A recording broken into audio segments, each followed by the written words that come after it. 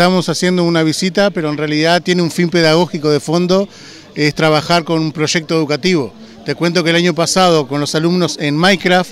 representamos la cultura este, inca totalmente, los chiquilines recrearon un mundo de Minecraft y a su vez con el Uruguay moderno. Este año la consigna es elegir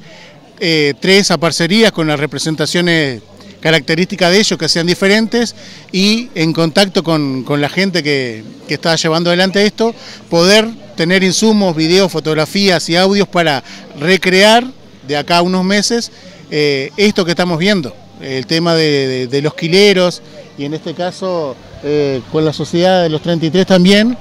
estamos viendo los insumos para trabajar la historia a través de Minecraft, que es un proyecto que tenemos con la escuela hace dos años, y entramos desde la historia, pero de un lado este, que a los chiquilines les gusta, eh, la programación y el trabajo digital.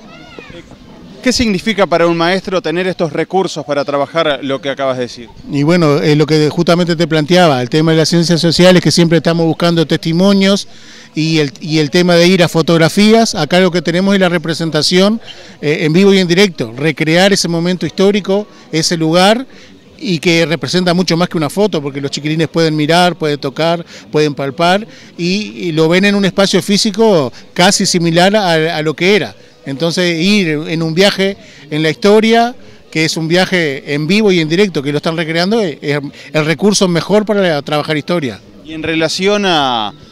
a lo que son los niños, ¿ya muchos llegaron a lo que fue Patriauch en ediciones anteriores o capaz que alguno está viniendo por primera vez? No, no, no, los niños han llegado, este, los padres, nosotros estamos ahí, como te decía, en Tierras Coloradas, es un, es un lugar que la gente está habituada a este trabajo, tenemos niños que han participado en, en sociedades con el tema de la música, del acordeón y otros con, a través de los padres y lo viven, lo viven de otra manera, lo sienten de otra manera.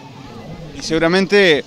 capaz que cuesta un poco más eh, trabajar o que se pongan a, desarrollar las tareas en torno al objetivo que comentabas, tomando en cuenta que todo le llama la atención aquí. Claro, todo, todo le llama la atención y, bueno, y también lo viven de otra manera, como te decía, porque también el campo no tiene la lejanía que podía tener para un niño capaz de, de la ciudad específico, entonces este, lo sienten propio, lo viven como propio. Bien, eh, maestro, agradecerte por estos minutos y hablando del centro educativo, eh, actualmente, ¿cuántos alumnos están asistiendo? ¿El proyecto de centro que quieren eh, planificar? Bueno, actualmente tenemos 41 alumnos con tres docentes, una maestra que se encarga de nivel inicial, otra maestra que tiene el grupo de primero, segundo y tercero, y yo que tengo el grupo de cuarto, quinto y sexto, y lo que te decía, el proyecto central este año es la historia a través de Minecraft, más allá del, proyecto pedagógico de lectura y escritura. Pero este proyecto permite vincular el arte, la lectura, la matemática, o sea que trabajar en forma interdisciplinaria.